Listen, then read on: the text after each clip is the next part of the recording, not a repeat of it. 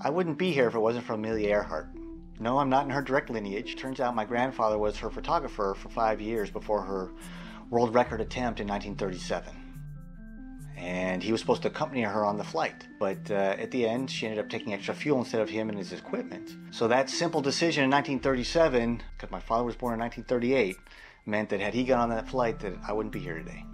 My wife Rebecca and I had two children within 11 months.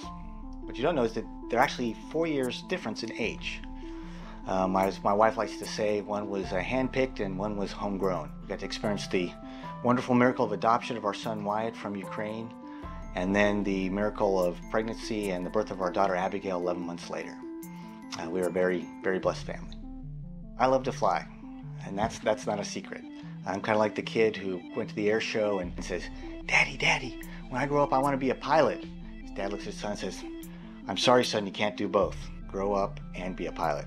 So that that's kind of me. I've been very fortunate over my uh, uh, fighter pilot, test pilot, and uh, astronaut career to have had the opportunity to be able to fly uh, 82 types of flying machines so far. Everything from jets to props to helos to gliders to tail draggers to float planes, um, yes, and, and, spaceships. But what you uh, didn't know is that I've even had the rare opportunity to fly the Goodyear blimp. I still have my first car. Uh, after my uh, freshman year at the Citadel uh, in Charleston, South Carolina, I came back to Southern California and purchased a 1966 Ford Mustang, which uh, I've restored over the years. It's been a, a, labor of love, and I would drive that uh, cross country uh, with my grandfather back to college for the remaining years of, of school. she's got a quarter million miles on her now and still runs like a top. And just last month in June, we celebrated our 31st anniversary.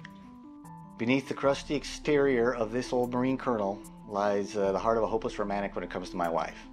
She's the most uh, amazing woman on or off the planet. And to show my love for her, I suggested that we have a, our wedding in a uh, Scottish castle, and so we did. And in good Marine Corps fashion, we decided to have a piper at the uh, wedding ceremonies. And then we wisely decided that uh, you know, the piper was the only one that had the legs to, to wear a kilt at the wedding.